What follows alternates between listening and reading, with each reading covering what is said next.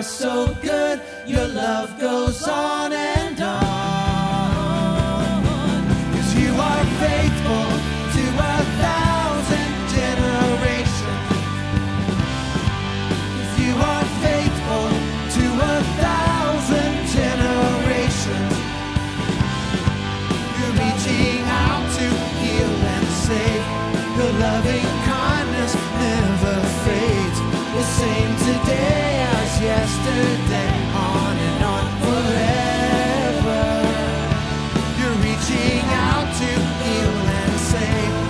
loving kindness never fades the same today.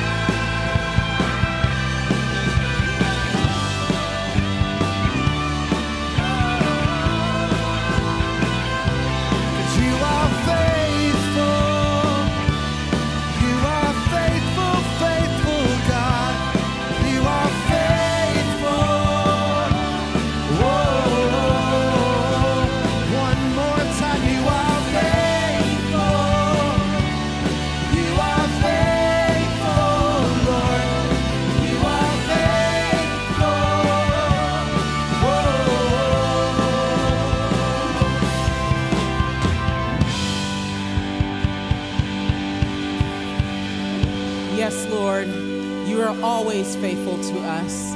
Let us continue to praise, lift up your voices, and worship together.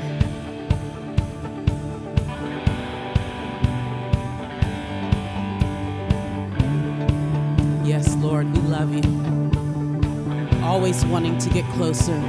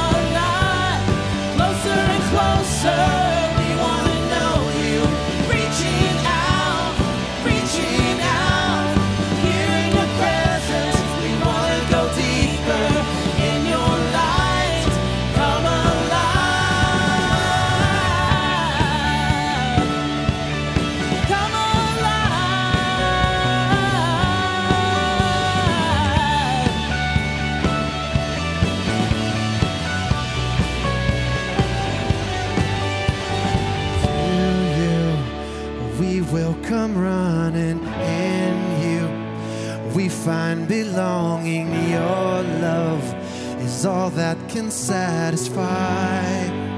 Mm. To you, we will come running in you. We find belonging,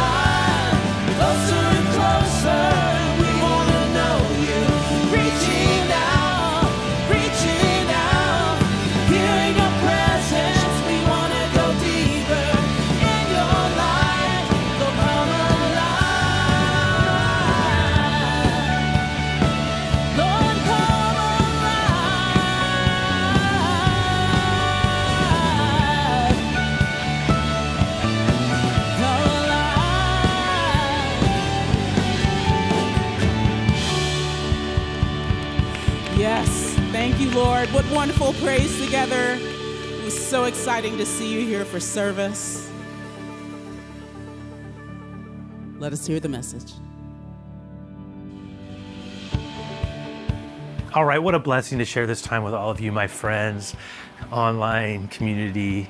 Some of you might be joining us for the first time, and if that's you, I'm Pastor Terry, lead pastor here, Cornerstone Church in San Francisco. Super excited about where we're going as we think about it. We've made it, the final day, the final Sunday of 2023. What a beautiful opportunity to position ourselves for the gift of a coming year.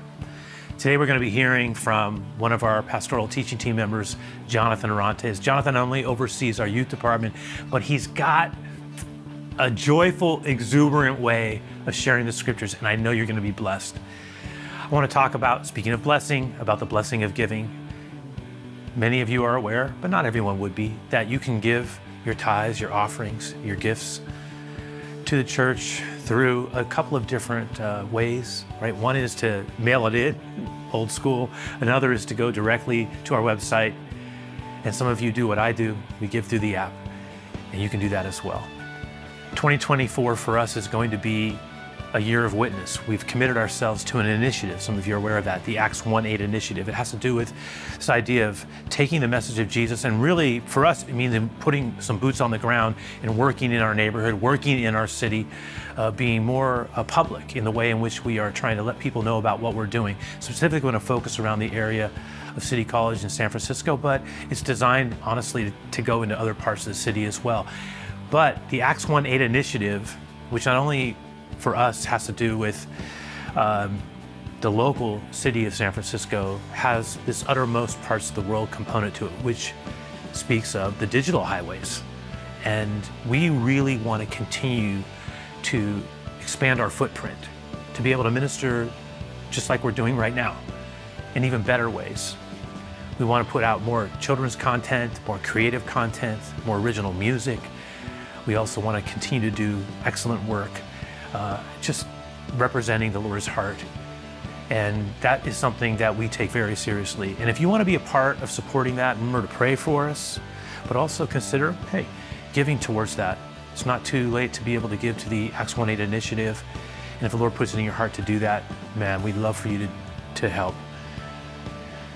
As far as where we're going, 2024, I'm pretty excited about it because I'll be kicking off the series next week, our New Year's series. It's built around a book that we wrote called The Faith Code. In fact, the series is called The Faith Code. It has to do with building a life of meaning and impact that's future proof, not only for the present, but also echoing into eternity. We're going to talk a lot about principles of growth, how we build our foundations, just try to help get that momentum going so that we've got a growth mindset heading into the new year. But when it comes to the faith code, we've got a little clip, actually a teaser clip that we want to share with you before Jonathan shares. So here we go.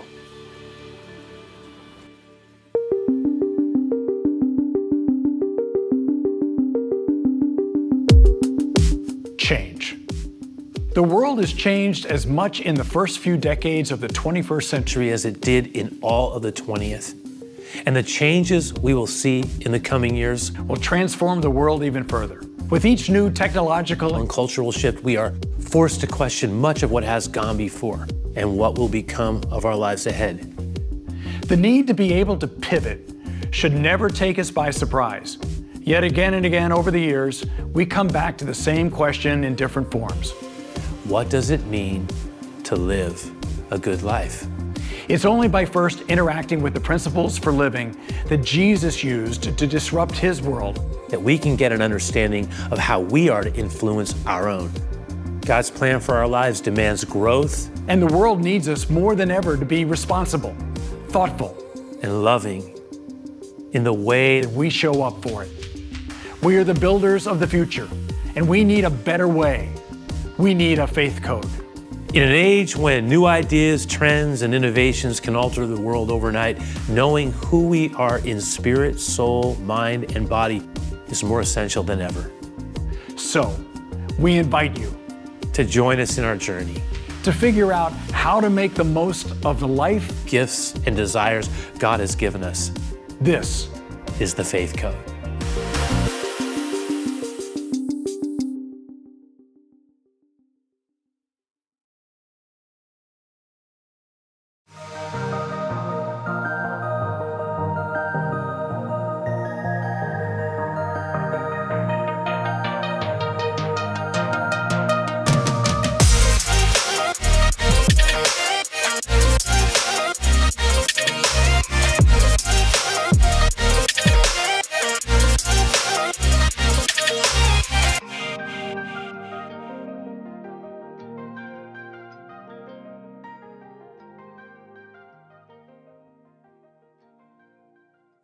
Greetings, my friends. My name is Jonathan. I'm part of the pastoral team here at Cornerstone Church, and I'm excited and thrilled that you're joining us today, the last Sunday of the year, really the last day of the year.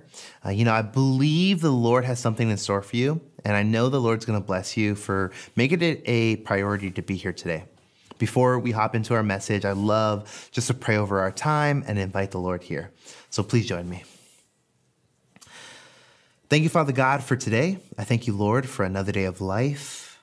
I thank you, Lord, for this year, 2023, that has came and gone. I thank you for the blessings that came along with it and even the the struggles because we were able to persevere and go through it and learn from it, Lord. God, I thank you for my friends who made it today, whether it's their first time here or they've been here before. I know you have something good in store for them. So even now, Lord, I ask that you bless us in our time here today. Lord, I ask that you give us a heart of flesh and not a heart of stone. Let us not be hardened by the words we hear today, Lord. Uh, and with that, Lord, I do ask for just an anointing over me. I ask that you bless these words that I'm about to share, that they're not mine in the end of the day, that they are yours, that they speak truth and life. So we thank you. We ask you all this in the name of Jesus. Amen and amen. All right, my friends. Well, hey, you know, as I've been prepping for this sermon, I have been very excited for 2024 and just some of the things that our church are planning and our community. But before I started looking onward to 2024, I wanted to spend some time to look at 2023 and just some of the things I've been thankful for. I'm also curious what are some of the things that you're thankful for? I would love to know it down in the chat below. But some of the things I've been thankful for have been my family, my cornerstone family, and all y'all just being able to pray for me and encourage me in this season of my life, uh, especially during some of the hard times that I've gone through. You know, this year I turned 30 years old. So that was really epic. Uh, I became a pastor this year, which was wonderful. And what a blessing that has been um, and will be for however long the Lord desires me to be in this position. Last week was Christmas, and that was so beautiful just being able to be together. If you were at our Reardon campus, then you know how awesome it was to be at the candlelight service together and just beautiful. Our last series, um, Out of the Silence, has been such a beautiful one. You can go back and re listen to it if you missed a couple. But just the story of Elizabeth and uh, Zechariah and their baby boy, John the Baptist, and just that whole journey that they went through together. What a blessing that was. And as I started thinking about just the things I've been thankful for, I also started thinking about the areas in my life where I need to grow. I know I need to grow in certain areas. And I wanted to sit with the concept of growth uh, as we move on to 2024. Because 2024 can be that year of growth for us before I share some scripture, uh, I just wanted to give you a little update on some of my plants.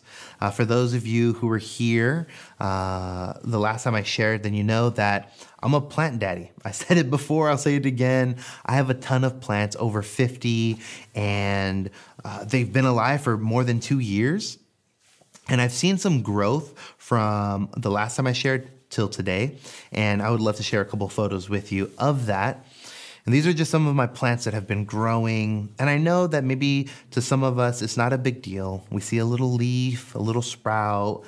Uh, but I'm telling you, my friend, when you're nurturing and you're caring for something and you see it grow, it's such a blessing. It's an encouragement. Uh, I don't have kids. I'm not blessed with kids just yet. God willing, one of these days.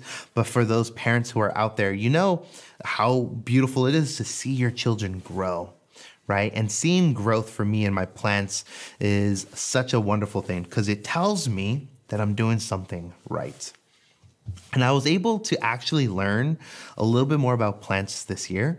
And one of the things that I learned was about the fastest growing plant in the world. I'm curious if you know what it is. If you do, comment down in the section below what it is. Or maybe if you don't, what's your guess? This plant can grow upwards of two to three feet in just a day. It's actually really amazing. And that plant is the bamboo tree. The bamboo tree is the fastest growing plant in the world. And it grows on a rate of 0.0002 miles per hour. when I found that out, I didn't know what to do with it, but I thought it was neat to share. You know, and the Chinese bamboo tree is one of these unique, beautiful plants. Uh, and because it's so unique, I wanted to share a little bit about it. You know, the cool thing about these Chinese bamboo trees is if you plant a Chinese bamboo, what happens is you see no growth in five years, no visible growth at least. Above the surface, there's nothing happening. It seems a little dormant. But what happens is after the five years, in about six months, this Chinese bamboo tree can grow upwards up to 90 feet tall. That is amazing. Once again, that's about two to three feet a day. You can literally stand and see it grow real time. That is unique. That is awesome. You know, and a lot of us would say, wow, man, this plant is so cool. Like it grew in you know, in six months, it grew 90 feet. But, friends, the reality actually is that that's not true. The reality is that it actually took five years and six months for it to grow 90 feet. The first five years, as it, it seemed like nothing was happening, but under the surface, in the dirt, in the grind, in the mud, it was growing. Its roots deep and wide into the earth's surface to prepare itself for rapid growth. And then after the five years, we see the life come out. And sometimes our life with Jesus is the same way, where we feel like there's just this uh, chasing of after the wind, and we see no growth or change in our lives in certain areas. And we ask ourselves, well, what's the point? But my friends, when we continue to press into the Lord, we will see growth happen. It's inevitable. This is it it just is a product of following Jesus. Growth happens. And in James chapter 1 verses 19 to 27, there's a couple of areas that I would like to look at together where we could potentially grow in. Because this can be our year of growth. As long as we continue to press into the Lord and fix our eyes on Jesus, growth will happen. Because remember, my friends, we are all called to growth. And real growth begins with becoming more like Jesus. So let's read together. In James chapter 1, verses 19 to 27, it says this Understand this, my dear brothers and sisters. You must all be quick to listen, slow to speak, and slow to get angry. Human anger does not produce the righteousness that God desires. So get rid of the filth, all the filth and evil in your lives and humbly accept the word God has planted in your hearts, for it has the power to save your souls. That's so beautiful. Can I get an amen down in the chat below? But don't just listen to God's word. You must do what it says. Otherwise, you are only fooling yourselves. For if you only listen to the word and don't obey it, it is like glancing at your face in a mirror. You see yourself, walk away, and forget what you look like. But if you look carefully into the perfect law that sets you free, and if you do what it says and don't forget what you hear, then God will bless you for doing it. If you claim to be religious, but don't control your tongue, you're only fooling yourself. Your religion is worthless.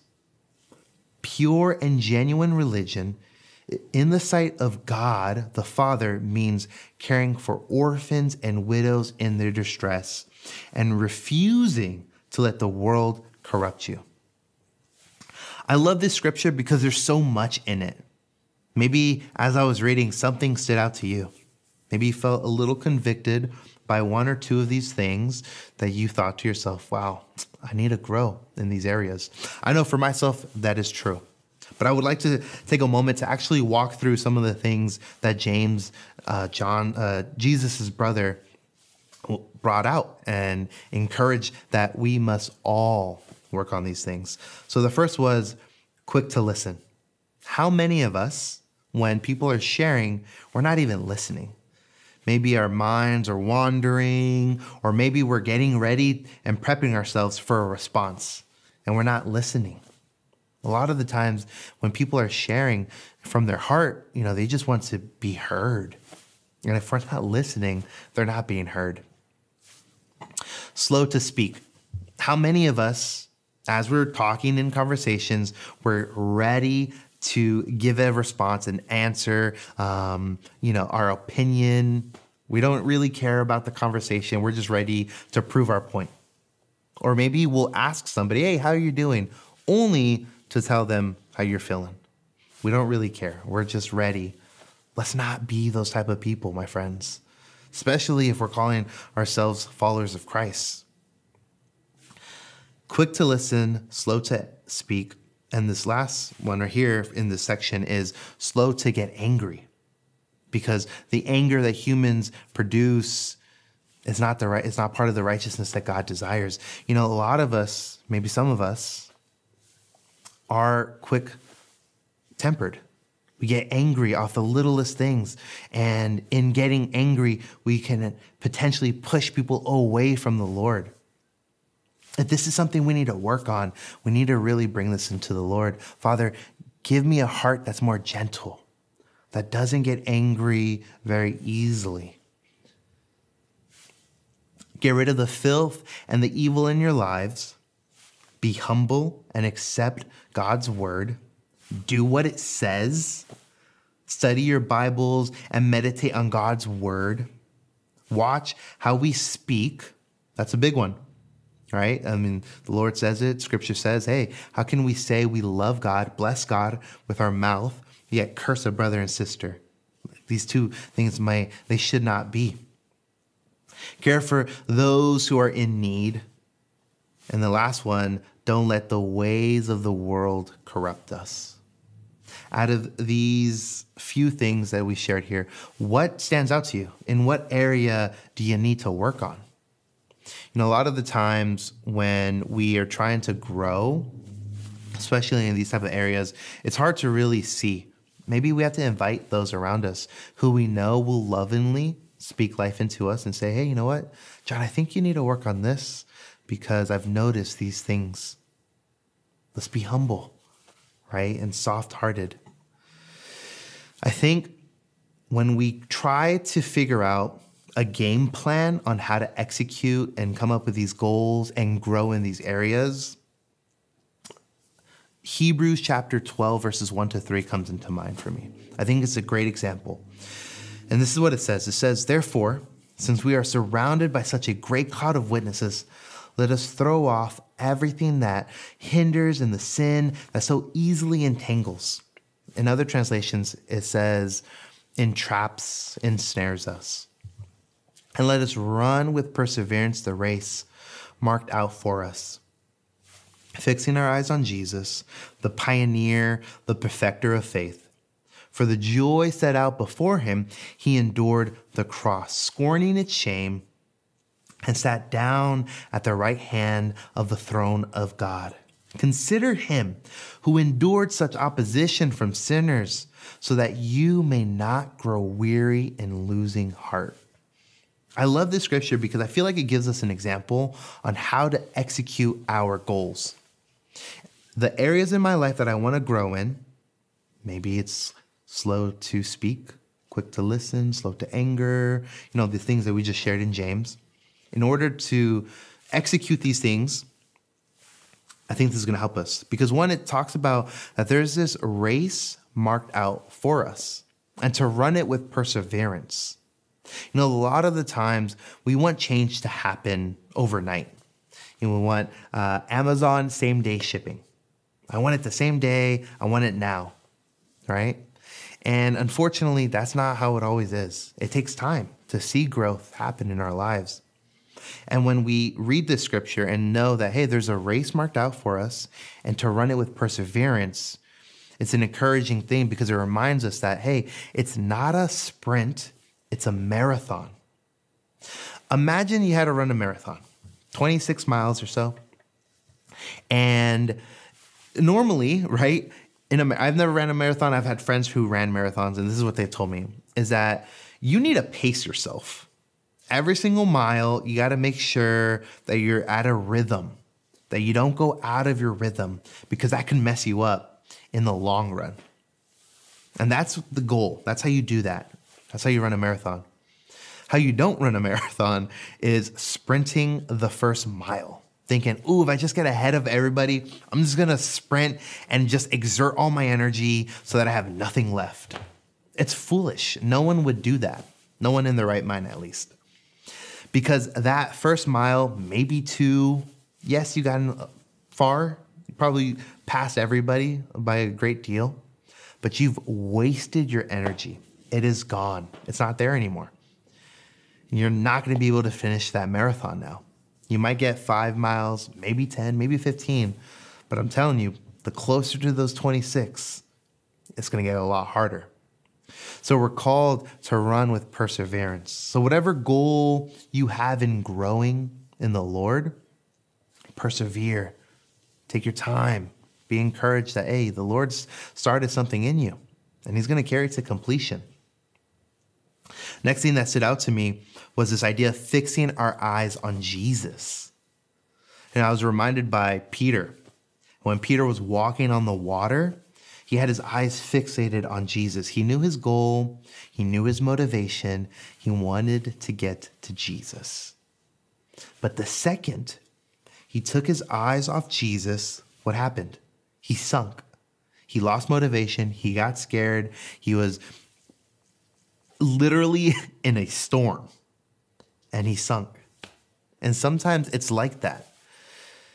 Once again, what area for us in our lives are we wanting to grow? We want the Lord to move in And we want his encouragement, his grace, his love, his mercy to be magnified in us in. Fix our eyes on Jesus.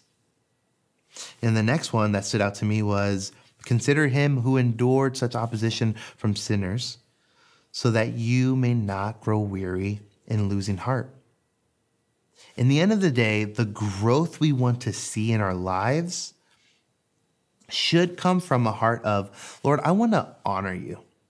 I want to uplift you. I want people to see my life and know that you are good. And that should be our motivation. That should be the driving factor of why we do what we do. I want this year, 2024, to be a year of growth. I want to be more like you, Jesus, so that others may know you and come into a life saving relationship with you. It's a beautiful thing. You know, some ways that I was wrestling with practical ways to grow in 2024. Um, I have three of them for us, and I'd like to share. There's way more than just these three, but this is really what I feel like the Lord has placed in my heart. And the first is this keep your commitments to yourself so that you can keep your commitments to others. You know, a lot of time in our lives when people ask us for help or to be there to do something, the pressure of an expectation of, hey, they're relying on me has weight to us following through with our commitments. But a lot of the times when we say something to ourselves, I will get up at seven in the morning to clean. There's not, it's, at least this is what it feels like. There's not that much weight on it because no one's relying on me. So it's okay if I get up at eight or get up at nine or I don't even clean, but I save it off for another day. My friends, when we break our commitments to ourselves, that will affect how we keep our commitments to others. Second, and it goes really, really well with the first one, is set ourselves realistic goals. Now, what happens a lot of the times is we, like I said earlier, we overestimate what we can do in a day and we underestimate what we can do in a year. We say to ourselves, okay, I'm gonna start, I'm gonna get up at four in the morning every single day to read the Bible for an hour, then journal, and then worship before anybody else gets up. And that's a beautiful thing. Don't get me wrong. The heart behind that's so beautiful.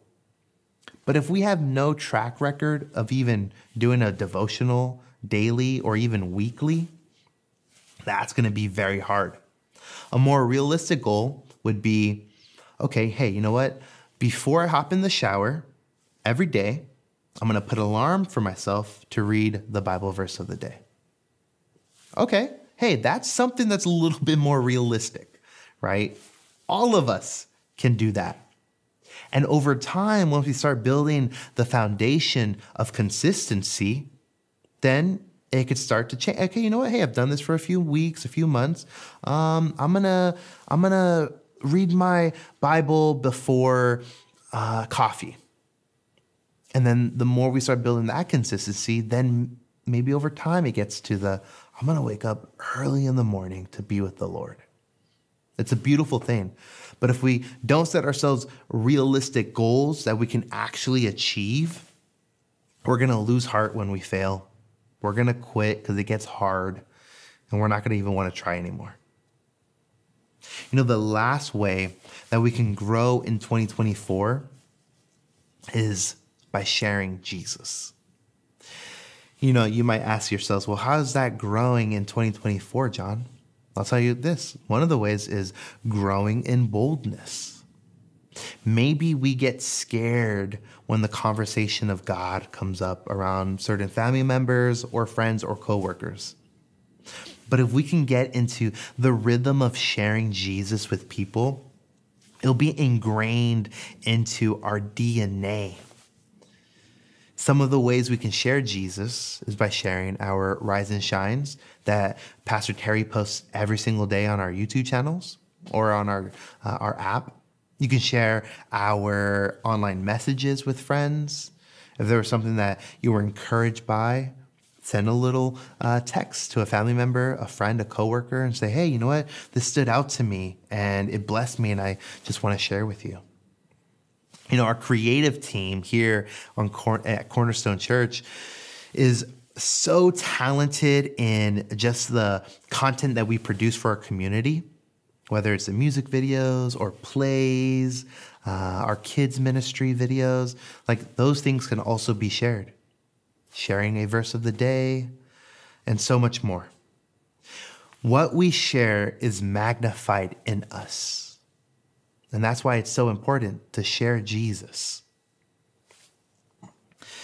as 2024 starts to come, I encourage you, my friends, take some time today and the next coming days to really sit down and ask the Lord, invite the Lord into this time and ask Him, God, where should I grow in? In what areas do I need growth? You know, maybe it's what we shared earlier. Lord, I want to be somebody who's quick to listen. Help me grow. Help me grow in learning how to be slow to speak, slow to get angry. Lord, help me get rid of the filth and the evil in my life. Lord, help me grow to be humble and accept your word when it's hard. Lord, help me do what you say, not just hear it. Help me study your word. Help me grow in wisdom and knowledge and so much more. Take some time, sit down with it, wrestle with it. Because I'm I promise you, what you bring to the Lord today and what we want, what we grow, what we choose to offer to the Lord, He will bless it.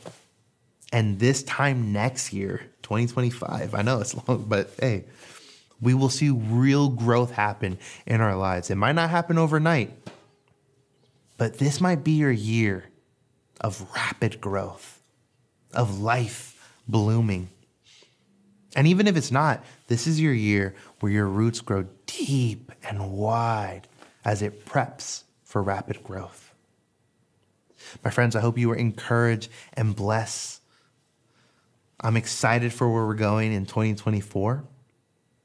In a moment, we're going to share this wonderful song I asked the band if they could uh, sing this one for us and for us to worship together, and I hope you're blessed by it. But with that being said, I love y'all. I'm excited for where we're heading and the growth that will happen in our lives. But until then, have a good one and be blessed.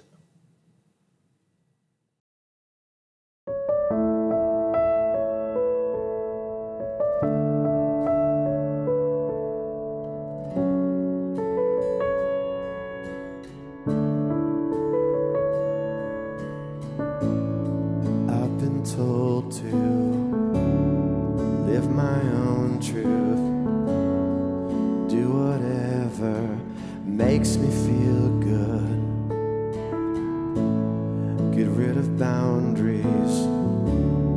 The rules are stifling. Chase good feelings, soon we'll be gone. But I found myself more lost than ever, enslaved and bound to my desires. And that's not freedom. Holy Spirit, make me more like Jesus. Every day a little more like Jesus. Jesus. Crucify my flesh with yours, that my new life might be secured. Everything I do, done so I can honor you. Resurrect me, sanctify me, make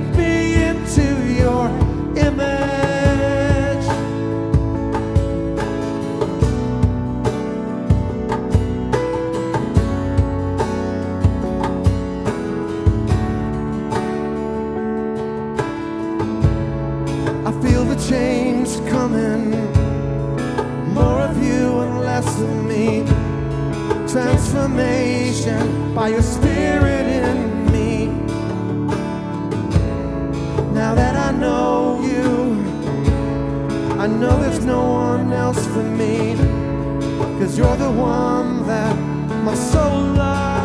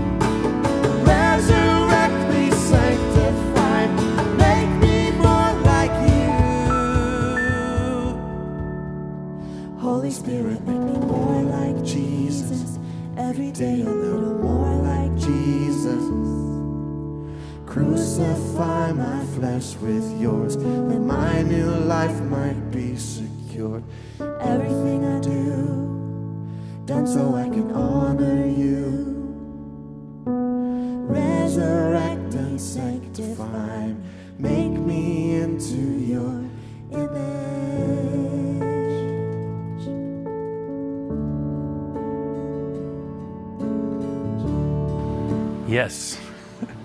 to be more like Jesus by the power of his spirit. You know, this coming year, it's just it's just an amazing opportunity for us to grow, to become more like him, to lay seeds of growth, to get those roots going down. And my prayer for all of us is that we would not only start well, but that we would have a compounding momentum that would carry us through into the coming year. You know, there's so many things that we cannot control. If we've learned anything, is to walk with humility because we cannot see the future and we do not know what this year will bring. But we can choose to position ourselves to walk in the grace and peace and love of Christ. And we can commit ourselves to pursuing growth. And that's my prayer for you. That's my prayer for me. Lord, don't let us get stuck. Instead, we thank you for the blessing of a new year and the opportunity of this first month of the year. And we just want to ask you to help us to keep growing and becoming everything you want us to be. So may the Lord give you a heart that yearns for expansion. And may His grace fill your life in every way because you are greatly loved.